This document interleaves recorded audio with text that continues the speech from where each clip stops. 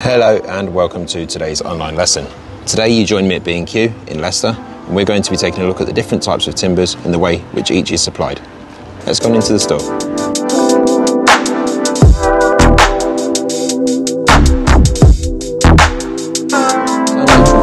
Used to describe timbers that grow naturally on trees, and these can be broken down into two categories. These are hardwoods and softwoods. So, whether you're choosing timber for a gardening project, some decking, or maybe even some fencing, it's important to know the type of timber that we're using and the reasons why this timber is suitable. Hardwoods tend to be used for outdoor projects. This is because they rot a lot more slowly than softwoods. However, they are more expensive, they take longer to grow, and they are more dense. This means that they weigh more. Let's pause and make a list of all the projects where you think hardwood would be the best choice. Natural timbers grow much more quickly, are readily available, and therefore cost a lot less than hardwoods.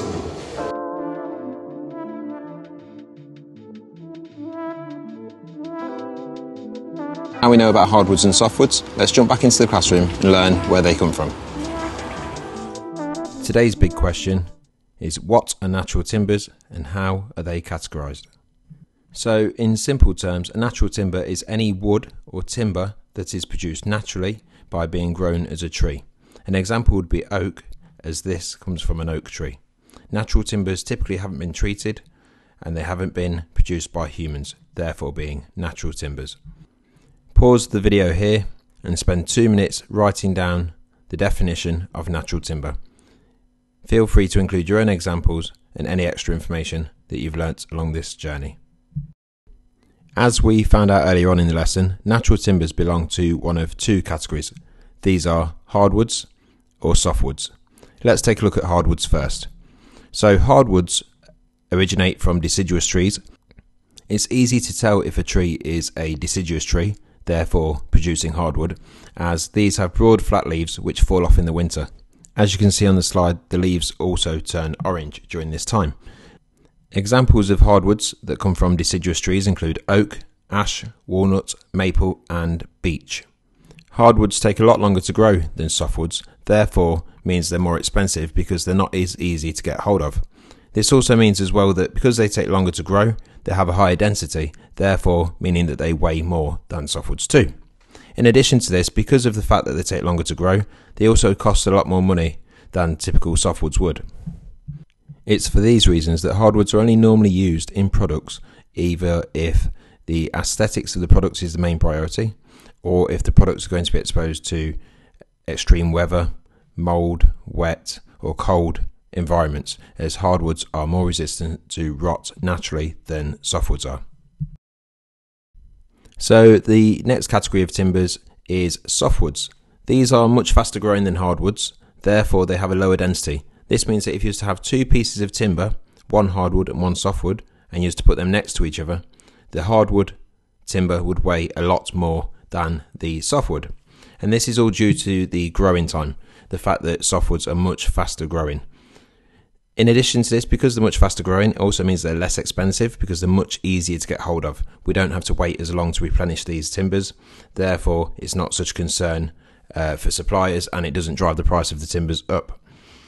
To identify softwood trees, you'll notice that they've got pine cones and they are coniferous trees. So, softwoods come from coniferous trees. Examples being pine, redwood, larch, fir, and cedar. The downside to softwoods is that they, first of all, they're not always as strong. They don't resist rot very well, so they're typically not used in outdoor settings. They're, um, or certainly not without being treated. And in addition to this, they also contain knots, as you see on the slide, which are these darker visual imperfections where a branch or the base of a branch once lived. Um, and then the grain of the wood grows around that knot. So, although they are cheaper, they do come with some sacrifices as well. Hence the reason you really need to consider what application you need to use the timber for before deciding whether you want a hardwood or softwood.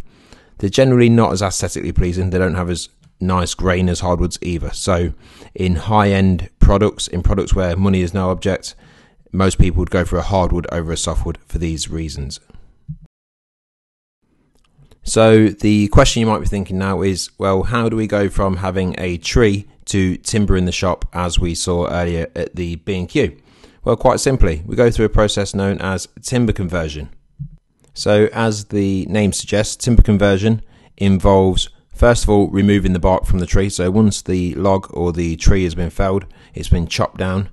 The bark is removed from the tree, normally by a shaving process. The timber is then divided or cut up into sections. As you can see from the illustration on the slide, that's just a, a visual representation. It doesn't quite happen as that shows just there. But you can see there's a range of different shapes and sizes that the timber can be chopped into. These are known as the standard or stock forms or standard industrial sizes. Obviously, forms just meaning shape, so these are essentially the standard shapes that are available. Just like when was in B&Q earlier on in the lesson, you will have seen many different shapes and sizes of timbers.